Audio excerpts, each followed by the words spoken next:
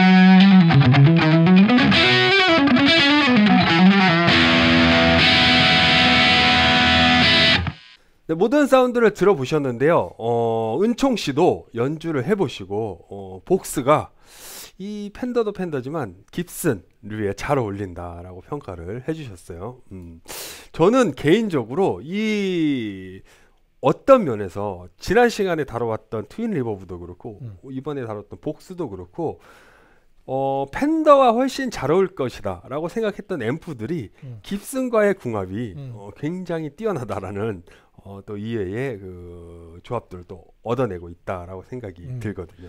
그러니까 뭐 오늘 같은 경우도 이제 SG에 물렸을 때 되게 음. 굉장히 발군의 소리가 나는 음. 이제 복스의 그 정말 진가가 그쵸. 드러나는 음. 소리가 나고 있었고 이 험버커가 주는 이 그 앰프 조합에서 특히 크랭크업으로 넘어갔을 때 음. 나오는 이 소리는 와 이게 아무래도 좀 뭔가 험버커가 더 좀 잘 맞는 듯한 느낌 확실히 좀 많이 받게 되네요. 네네 그렇습니다. 이 시간이 지날수록 이 저희가 이제 앰프 라이브러리 특집을 계속해서 어, 진행을 할수록 어, 이 뭐랄까 이 다양한 앰프 브랜드들의 특징을 좀더 어, 가까이서 음. 알수 있게 되는 경험도 하고 있고요. 이거는 시청자분들한테도 어, 조금이라도 도움이 됐으면 좋겠지만은 저희한테도 굉장히 큰 음, 의미 있는 컨텐츠임은 분명하다라는 생각을 가져봅니다. 이 옥스의 등장으로 이 그동안 음, 기타리스트들한테 어떤 면에서 약간 외면받았던 앰프 헤드라든지 콤보 앰프들이 다시 한번 음. 이 수면 위로 올라오기를 바래 봅니다. 음, 다음 시간에도 어, 이 AC15 C1의 다양한 사운드를 들려드릴 텐데요. 많은 기대 부탁드리면서 이 시간 마무리 짓도록 하겠습니다. 궁광은 못 참다. 플레이를 위한 가이드 플레이어스 가이드. 네, 다음 시간에 뵙겠습니다. 감사합니다.